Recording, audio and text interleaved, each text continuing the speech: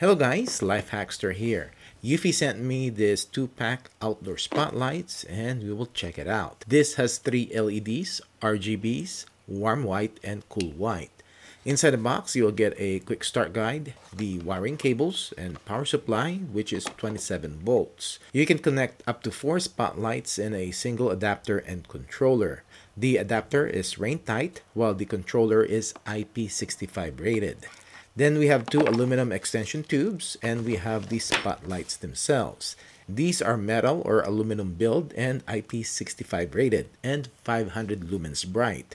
I do need to install the extension though for my setup. Unscrew the spotlight from its short tube and unscrew it from the stake. Then unscrew the spotlight from its connection so that you can pull out the small tube from the wiring. Then swap it with the long tube and pull the wire through. Then screw back in the spotlight to the extension tube and then on the spike on the bottom. And this is how I want it in my setup. As to the length of the wires, the adapter and the controller about 15 feet, and in between spotlights is around 10 feet, a total of 29 feet in a 2-pack kit. To set up, open up the Eufy Life app, device, push the controller button for 2 seconds and the lights will flash 3 times. And you will see the spotlights. Name it and add it to your Wi-Fi and wait until it is connected successfully. In the settings, the lights needs to be on to change its settings. I have it in warm white. You can adjust the brightness up to max or pretty low.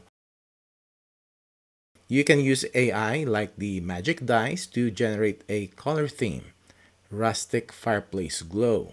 You can choose ambient and you can have a lot of color themes that you can use like Christmas.